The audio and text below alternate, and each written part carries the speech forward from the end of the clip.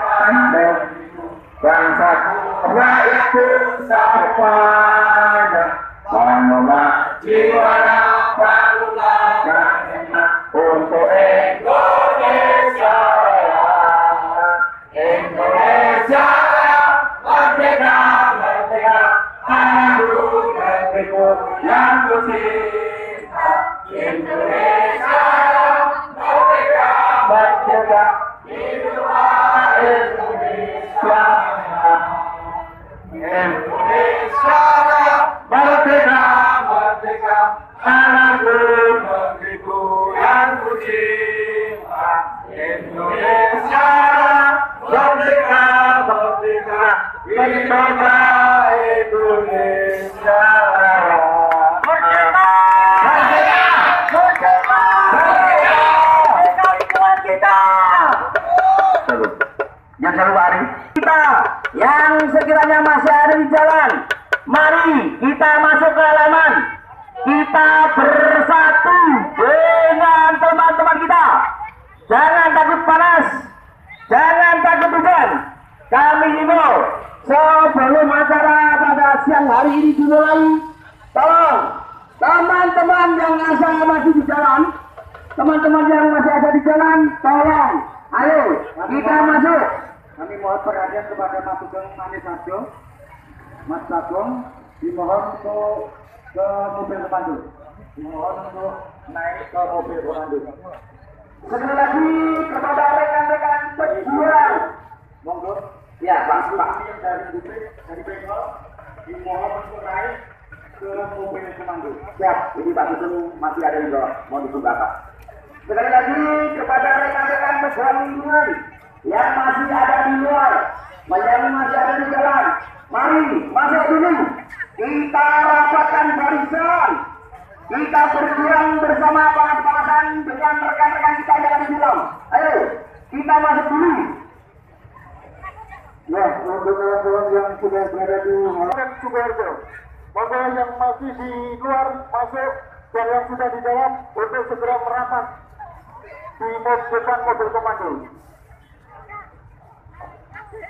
Saudara-saudara sekalian, kita di sini berkumpul bersama dalam satu perjuangan, perjuangan bersama-sama menuntut dan meminta kepada Bapak Bupati Suwarto, Bapak Haji Wardoyo Sakijaya SHMH untuk menghentikan proses produksi PT RUM, untuk mencabut dan meningkatkan sanksi administrasi kepada PT RUM karena selalu mengkhianati, selalu tidak mengabaikan surat keputusan Bupati Sukoharjo pada tanggal 23 Februari 2018.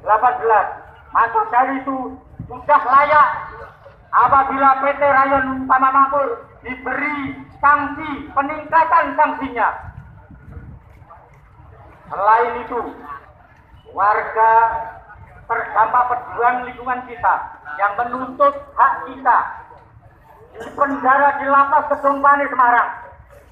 Kami mohon kepada Bupati Sukoharjo untuk membebaskan, mengumaya pembebasan ketujuh pejuang lingkungan kita.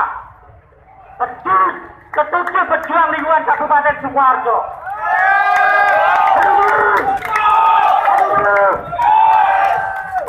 Daripada mengkriminalisasi warga kita, rakyat kita ketujuh pejuang lingkungan kita lebih baik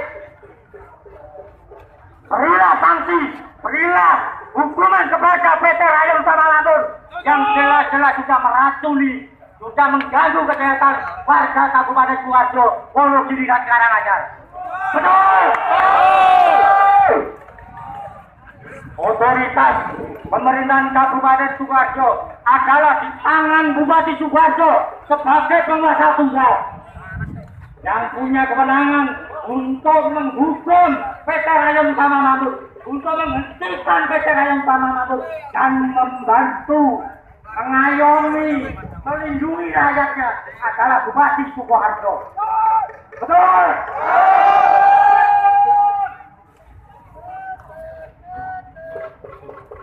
Rakyat, Thank.